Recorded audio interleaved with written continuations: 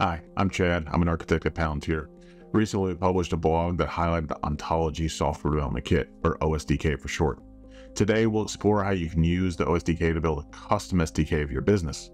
This will allow you to seamlessly integrate data, logic, and actions along with LLMs into your existing applications, create net new ones, even in mobile, or integrate into your back office systems. All right, let's go build with OSDK. So video topics for today, what is the OSDK? So we'll define and take a look at how that fits into the bigger ecosystem. We'll actually go generate our own SDK on our Titan ontology, our demo environment. Um, and then we'll set up the security, look at the internal web hosting. So we have a fully managed uh, web hosting for your application inside the platform, where you can have your own. We'll get into those details. Then documentation generation. This is probably one of my favorite features of live documentation. As your ontology and your business changes, your documentation auto generates. Uh, then we'll actually integrate it into a React app, test that out in a iPad as well. Lots of stuff to cover. Okay, I know there's a lot going on here. The app to my right here, the Titan Control Tower, we built that in our last video because we had a fire at our Haynes distribution center, so we built a co-pilot using LLMs to help me respond to my supply chain emergency. It's great, I didn't short my customers, but now I need to assess the damage at the Haynes facility. So I'm going to extend the ontology we built already as part of Titan to include tasking different uh, public satellites. We're going to use LLMs to help me find the right satellite with the right imagery that I need. So you can see in the React app running on the iPad above me here, we built this uh, on top of the OSDK, leveraging the same ontology I used for my Titan control tower. So super excited about this use case. Let's go build. All right. Quick diagram here from the blog post. We'll put a link to the blog post in the video notes for you. Ontology at the center integrates the data, logic, and action into a decision-centric model of your enterprise. So you can think of it as a digital twin, but not just of the data, also of processes, possible actions, uh, simulations. Again, so this means that an SDK of your ontology is an SDK of your business using the language of your business. Very cool concept. So let's take a look at what that means. If we go into our dev console here, this is actually where we create and manage SDKs, but you can see I have multiple SDKs. It's because I can have one ontology, that's the digital twin, the, the one version of the truth of how my business operates, create multiple SDKs on top of there for whether it's an integration or a custom app or a mobile app. All those can be on that one version of the truth. Security and permissions all respected through the ontology.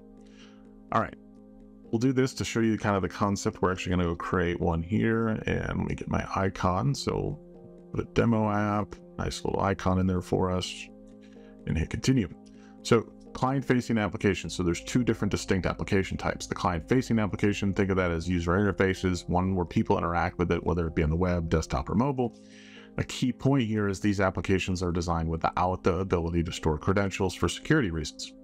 Then we have the backend services. So think application servers, daemons, integrations, um, where I might need a service account to run on behalf of someone to move data around or do something for me. So I can select one or both depending on how I'm trying to architect my application. The idea, whenever you're selecting these options, we try to make it very real about how that impacts your overall security posture. So as we select these, we kind of give some real world examples. Similarly here, when we get into the user permissions and applications, so this comes back to data. So if I'm a user logging into this your custom application and I'm accessing to the ontology, it's going to pass my credentials based on your uh, Active Directory or your authentication uh, system into um, the through the OSDK. So anything you have already built in the OSDK from a security and permissioning is respected. So if I have access to a sub business unit only of financials, when I access that application, whether it's inside the platform in a workshop app or through the OSDK, those permissions are respected. So I'm not having to rebuild permissioning schemes when I build custom applications. It's already there in the ontology. That's pretty cool. Then you have the application permissions. So again, if I need to have like a service account or something on the back end. So idea here is as I select these options, it's going to show us in a real world example what that does. And so I know exactly what I'm exposing through this OSDK. All right, if we continue, we're gonna pick our uh, ontology. We're selecting the organization. You can see I have objects, actions, and functions. So let's add some objects in first. Uh, satellite, I've got some tasking, finished goods, let's see, a manufacturing plant, put a few things in there. So you can see, again, back to security, least privilege. I'm only giving access to explicitly what I wanted to have access to. Even these are just the data objects that are behind the ontology. So it's the data, the data component. I didn't expose the links between them or the actions you do or the functions. So I can select those later, and we'll get into that in a minute. I can also add different action types in. So if we hit this, um, let's this function. So we're going to create a plant event, for example. This could write back to SAP. This could write back to a source system, take actions for me. So think about that. I got uh, SDK now that when I create these actions about how my business operates, this action is in the language of my business. Now it might go call an SAP BAPI or some sort of technical backend to make some things happen, but now I'm programming in the language of my business through these actions. Same thing with functions. If I look here, I've got this one. This is actually a uh, AIP logic function, so an LLM back function that's going to help me later find the right satellite that we're trying to do um, to get imaging from. So pretty cool that I can now also expose functions here, LLM back functions as well, um, through the OSDK. So if I want to integrate AI functions, write back all this kind of stuff into my existing applications, it doesn't have to be like a wholesale new. I can integrate into things I already have that brings the power of LLMs, AI into your existing enterprise ecosystem. Very cool. All right, the last part here, you can just review, um, and it helps you understand like what are things that I can change later, what are one-way door decisions, what are two-way door decisions. Okay, I can add more objects later, I can add the links in, and we'll do that in a minute. So I can hit create application, it'll go create it for me. All right, hopefully that gives you kind of an overview of what the OSDK is. Let's go jump over here real quick and knock that off the list. So we're actually gonna go generate our own and dive deep into an SDK for a specific use case. Okay, so before we actually build out the SDK, this is the ontology we're going to build it upon. So the blue is part of the Titan ontology that we use for the Titan control tower and that we built the Copilot on last time. We've added the green objects in are things I've added. So plant events, when we had a fire, the sensor tasks telling me I need this type of imagery uh, at this location, and then we have satellites that actually can go get those. So I've added these objects and action types into the Titan ontology. Pretty cool that I can start the flywheel now. I can move quicker because as I expand out the ontology and truly build that digital twin of my business, now I'm just able to add incremental things in and leverage them across my entire enterprise. Very, very neat. So if we put it all together, what we're going to actually build here, we'll have a React application that hits the ontology SDK. That's going to have access to the ontology um, for data like we were showing. But we're also going to have an AIP logic function that's going to help me find the right satellite. So We'll take a look at that real quick. Um, won't spend too much time here, but this is going to take us. I've got a location.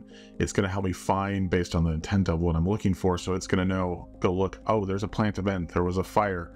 How do I reason through that I need RGB, uh, infrared, and thermal? So it's actually going to help me find that and find a satellite that meets, meets those requirements that's a path in the near future for me. So it's going to go through all of that reasoning, looking at the different public satellites we might have access to and help us find create a task for it. Pretty neat.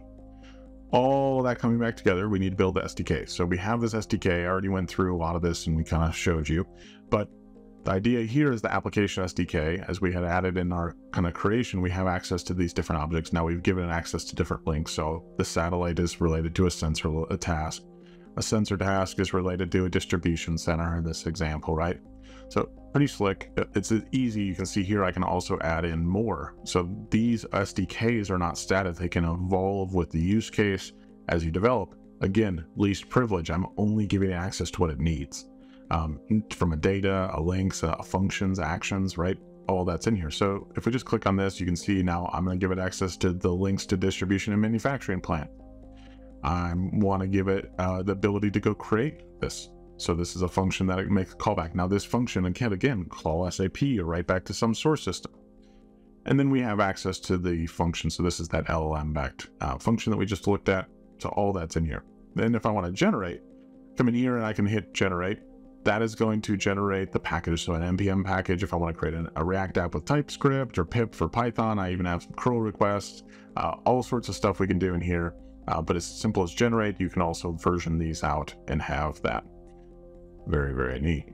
If we come back over here real quick, website hosting. So this is fully managed uh, hosting of these uh, web apps inside of the platform. So if you've got a, a skill set where you need to build a custom application, but you want to leverage ontology, the security, the you know the strong type safety that that ontology gives you, cool. You can build the application, host it in here, and give people access to it, whether it's on their mobile or inside your intranet or out on the web. You have all those different options. Very, very cool. All right. Last but not least, my favorite thing the auto generated documentation. So you can see here, this documentation is generated based on the ontology, the object types, actions, um, and it gives me the ability to pick what language I want to have it in, whether it's in Python, curl, or TypeScript. So it's going to give me um, these examples, but it's the exact example of how I'm going to load a specific object. So if I click on satellite and I want to get a page of satellites, here's the code to go do it. Oh, wait, actually, I need that in Python. Awesome. As I change my ontology, the objects and all those evolve with my business, this documentation is live on top of those objects. So again, I have an SDK that auto documents my ontology, it auto documents my business um, and how we interact. And similarly, I can have these different action types, but how I call those, or even the LLMs. It's very, very cool. Now I can call an LLM back function straight from ontology SDK and TypeScript. It's pretty neat. All right. So we kind of walk through what all of that looks like, how we interact. Let's go back here, check that off our list. Now we need to go build the actual app and integrate it. All right, so let's go build this in an application. So you see we got VS Code open here. Uh, we have the SDK that we've installed. Pretty simple. We get a README about the steps we can take to get that running and install. Very, very simple. So let's collapse this down and take a look at what this might look like. So if you want to have an example here, let's just do client uh, dot ontology. You can see I have a couple different uh, uh, options here. So I have um, the action. So let's go take a look. I can create the sensor task, for example, or a new action. So anything I expose through the SDK, I can now leverage right in here, even with autocomplete, and you can see the documentation about how to make this call. Very, very cool that all that feeds all the way through. Similarly, if I go to uh, objects, I can see the different object types. So satellites, sensor tasks, distribution uh, centers, all these objects that I'm exposing along with the documentation about how to go use them are right here. And then last but not least, we can do queries. And this is actually how we would call like an LLM function. Pretty simple. If we actually look over here real quick in the documentation, again, I can just copy and paste this code about loading a single distribution center or a page of them straight into my VS Code and start using them, or call this for the satellite um, LLM function. Very, very slick. Come jump back over to code here. So we're gonna just put this back and we're gonna have ontology.objects dot we're distribution center dot page and we are going to uh, get the first hundred objects there we go we're not going to do any sorts or anything fancy right now um, so we'll hit save and if we actually click over on our application you can see localhost it's blank here so if I actually come down here to my terminal and run this you will see that we'll get our web app um, on our iPad simulator. Pretty slick. All right, so that's up and running. Let's go see it. So there we go. So now when that call I just put in there is giving me this list of distribution centers to be represented. Now I've got satellites moving and I want to go zoom in and look here. So um, my Haines facility, I'm going to get on a plane later and go take a look at Haines, but I want to have some satellite imagery to see what's going on. So here's my, uh, my Haines medical supplies. I want to create a task for that. Uh, I'm going to use this, and this is actually going to call the LLM function. So now this is navigating the ontology on my behalf, looking at the plant events, what's going on. Um, so it knows that it has a fire. Okay, I've got to go uh, find a satellite that's going to go over that path in Mountain View that has the sensors that I need um, to assess the damage from a fire. Very cool. All right, awesome. Got me a satellite, uh, satellite 52174 and I can hit save here. So when I do this, it's actually going to write back to the ontology, create um, this sensor uh, tasking object. Now that could have a webhook to an API to a satellite provider. It could go back to SAP, wherever that needs to go. So I've created that, and again, it wrote back to the ontology and immediately populated the application because the taskings are part of the OSDK. So if we actually go back and look uh, here, we are going to actually look at that object itself. So there wasn't any before. If I hit refresh, you can see here, we're going to see that tasking object that we actually just created through the application. All right, there we go. So if we actually click on this one, this is the tasking object we just created. There's the satellite, got the links, all rich in ontology, the right permissions. Very, very cool stuff. So you can see how I can integrate this into an existing application or create these new ones. Its possibilities are really endless. All right, that checks everything off the list. All right, that's the content for today. I hope you enjoyed building with the OSDK. Ontology-oriented software development with the OSDK is a whole new paradigm that allows you to move faster, more securely, because engineers and business users are aligned around the representation of the business rather than the representation of underlying individual systems and components and how they might fit together. All right, see you next time.